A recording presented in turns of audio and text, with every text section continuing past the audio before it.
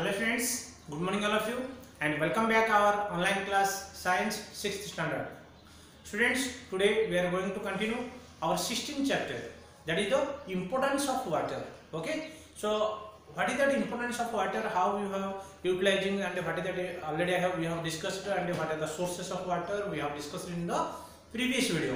But friends, today we are going to discuss about that lack of water and excess of water that means lack of water means also we will face the problem plenty of water also will face the problem yes that about that we are going to discuss that is called as digester okay water digester or water as a digester water digesters are generally two types general one is we are facing that one draft another one is flood draft क्या होता what is that draft draft means the scarcity of means sca- scarcity of water. That means when that rains uh, won't get after a long periods like a years years five years ten years if like that we won't get that wa- uh, rain then we will face that uh, what is the scarcity of uh, water? That means we won't get that uh, totally water. By that way we will face that flood uh, sorry drought. Okay? And sometimes what will happen in the long period continuously the rain will come. That is it will create that uh, floods that means uh, everywhere water will be available. So uh, it, it will be damage our that ecosystems it will damage our that houses it will damage to the roads all the things it will be affected by that way. So this special what happen now more excess water it will be make problem and total scarcity of water also to make the problems so that is called as a digester water as a digester. Let us discuss about that special first digestion that is the draft in the video. In this video we will discuss. So see what are the digester? About that you should see deficiency. Deficiency means what? Lack of. Deficiency means lack of. The scarcity of water.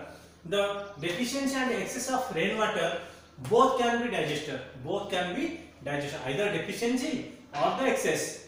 If there is zyada water mil raha how we are getting the water? One is the rainwater especially due to that rain water it is making that problems if there is no rain then it will form that drought.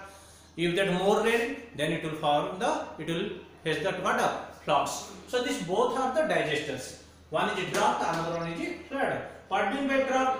It refers to a period like a year or more more than a year in which there is an unusual scarcity of rain is called as a drought.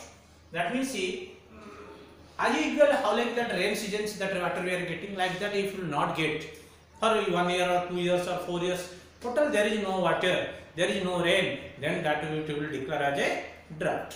Okay? And due to the drought what are the effects? How that human beings or that water cycle or environment or the ecosystems how it is affecting that we are going to discuss. So if there is no rainfall for a long period it leads to serious hydrological imbalance hydrological balance mean- imbalance means totally that water uh, problems will face that totally water imbalance it will come okay due to that so many members will die due to that thirsty or uh, dehydration and uh, there is no we won't get that agriculture uh, cannot do and uh, there is no water for taking bath or we cannot uh, take that water uh, we cannot uh, get that water for consumption so so many way so many things uh, it will be create the problems.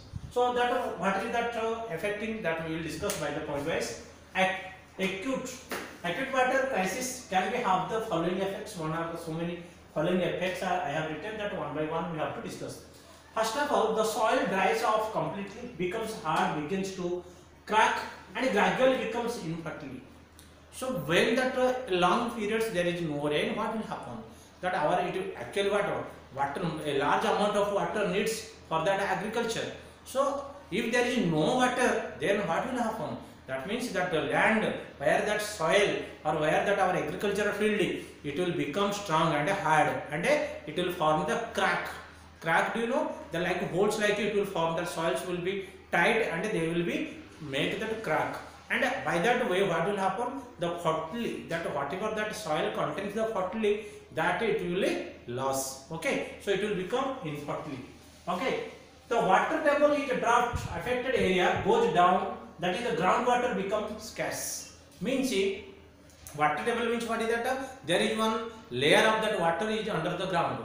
And whenever that under the ground water it will be go down. Means it will be decreased because of uh, there is no water there is no rain. So if there is no rain that uh, water cannot sink into the ground so that water level will decrease and the, that is called as water table. The water table will go down okay? So that is called where that affected area that means where is that draft affected area? That area they won't get that underground water also they won't get. Third the water level in the wells and the ponds etc in the draft affected area goes down. Whenever we will dig that well or that uh, we will keep that uh, hand pumps we want to get uh, water water. Because of draft draft area affected those, those area that uh, there is the water table will go to down. So we want to get the water by the well or pumping ponds. Due to the infertile soil the scarcity of water gradually in the whole vegetation of draft affected area is lost.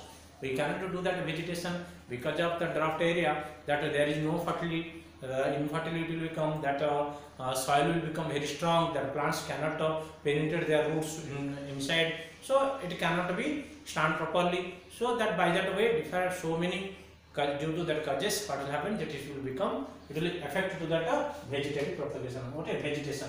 And uh, where that area it will lose that uh, its pattern Draft leads to the shortage of food, increasing the poverty of reduced health and poor quality of uh, life.